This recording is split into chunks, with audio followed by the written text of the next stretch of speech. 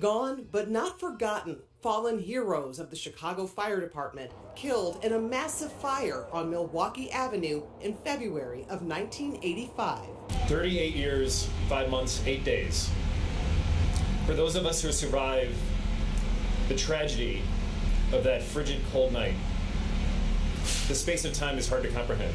I miss my father every day. Today, their community is giving back, remembering their sacrifice Captain Daniel Nockels and firefighters Michael Forchione and Michael Talley honored with a renovated mural at this park at Diversey, Kimball, and Milwaukee Avenues, just down the street from the deadly fire.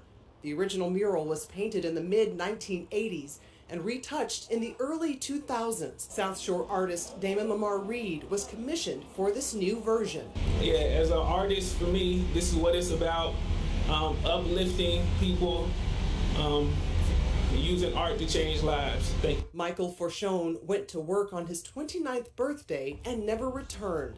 His children, just babies when their father died, joining their mother at the podium today as she thanked her husband's fellow firefighters and the community for their unwavering support.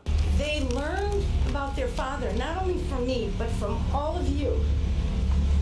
The love that you give our family continue to give our family has what caused us to survive.